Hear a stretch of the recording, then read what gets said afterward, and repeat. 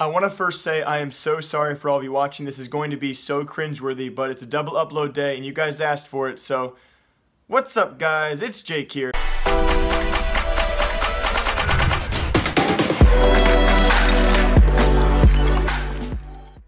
And I hope you're all having a great day so far. Yes, it's a double upload. I had my first episode of CSGO News this morning. I'll link that down below for all of you. But this episode is way better as a huge announcement did come from ESL. I'm sure many of you guys have heard about it by now. The iBuyPower players have been unbanned for ESL events only on top of that as well as ESEA. So some great opportunities for the guys that we know of. There's also other match fixtures out there. I'm not going to talk about them. I do want to talk about notoriously the iBuyPower team. We have Dazed, Steel, Swag, and as well as AZK. They have now all been unbanned and can participate in ESL events, which which is actually several events every year now, including ESL Pro League. And on top of that, they usually have a major every year as well. So whatever team these guys do find in the future, they do have a chance to participate in some big events. Now, of course, ESL Pro League Season 6 does start relatively soon. They can't qualify for that, but Season 7 is totally open as well as any major events that ESL does hold. And on top of that, ESEA. So the big question, of course, for our big four players, we have Dazed, we have Steel, we have Swag, and of course AZK. All of those guys, or at least all of them besides AZK, did tweet out some kind of reaction for them. But the big question does come, come soon, the first of which will AZK come back from Overwatch?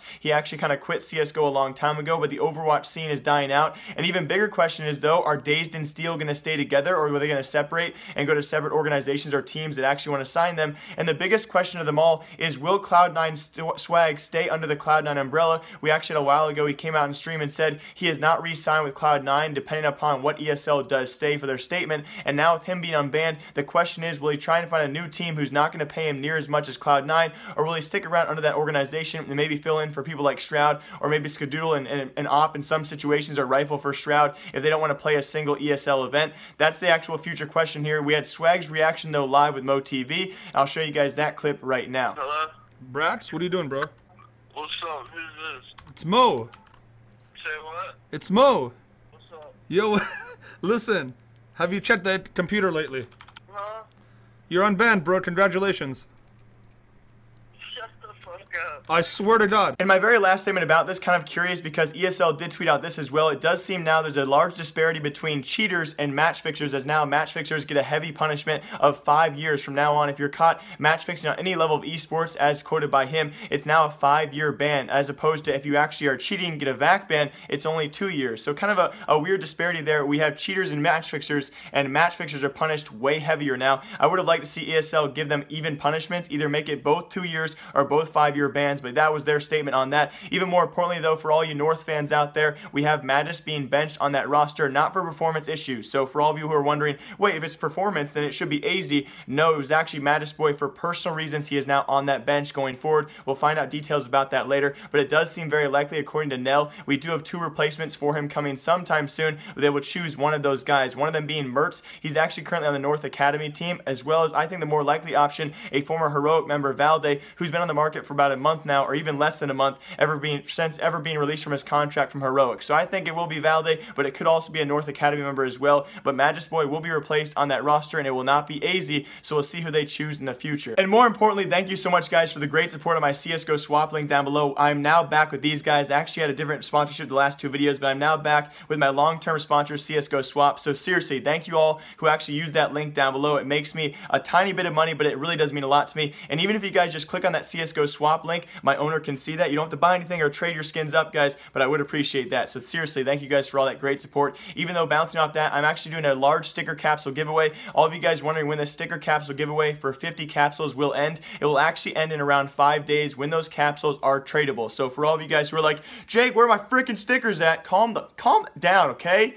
I'm wearing a red flannel for you. I will do that sticker giveaway in about five days time when those capsules are tradable and there will be 50 individual winners. So best of luck to that guys. And I'll be doing a bigger sticker giveaway after that one ends. It seems our uh, CSGO pro players are back to the betting scene. If you guys remember a long time ago, now this was actually last year, actually last summer when CSGO betting and gambling was at its peak, we had a lot of pro players actually sponsored by gambling sites. I remember Seized being one of those guys who entered a lot of big pots. He is now back to the gambling and betting though guys, actually betting on other CSGO teams. Kind of cool here, a friendly wager, so it is legal, guys. For all of you concerned about that, hey, sees, hey, shouldn't be allowed to actually bet on other teams, man. That could create some conflicts. Don't worry. It seems he either put a bet on Gambit or maybe he actually bet on a CIS team winning the major because Cold Zero, fer, and Stewie2K all owe the man some money, and we had fer with some funny replies about that. So kind of cool to see our CSGO pro players making friendly wagers on each other, and kind of cool to see how much money they really make. The, the fact that they can put down a $1,000 like it's nothing. Now, off, on top of that, guys, we do have our community question for this episode, and again,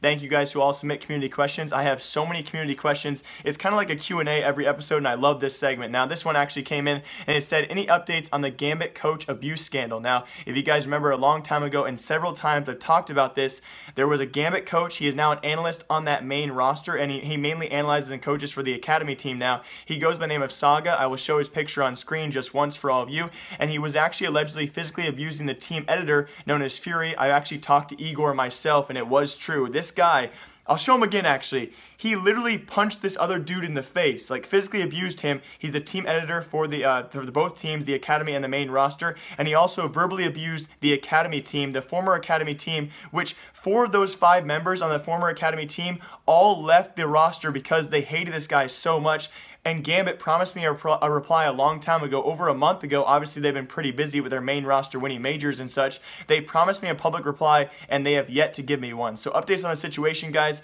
It's still a terrible situation, and thank you guys for sharing this video and all those other videos about it, but I have no response. And I know the sad part is we don't have enough power in this community, which kind of sucks because if Richard Lewis reported this, he would definitely get a, a, some kind of response. I got a response from Gambit, but they said they would reply to me sometime soon, and they never did. So that's an update on that situation situation. Still a terrible situation to hear about. The Gambit coach abusing their players and nothing being done about it. All right, I'm going to keep it short and sweet, guys. I hope you all enjoyed today's episode of CSGO News. Thank you again for all, the, all, all of you out there, you special people who actually click on my link and support me through that. Seriously, that is uh, un unbelievable. Thank you guys for all the great support, and I hope you all enjoyed today's double upload. I want to keep today's episode really short, though, because I want to have more content for tomorrow for all of you or in a couple days. Hope you guys all enjoyed today's second video. As always, please leave a comment down below so I can reply to your comments. And as always, live, love, laugh, lot. Remember, my name is Jake. Remember, I like you. And apparently you guys want the yelling outros to come back. So it's, this is going to be very important. Please leave a comment down below whether you guys want this to come back or not.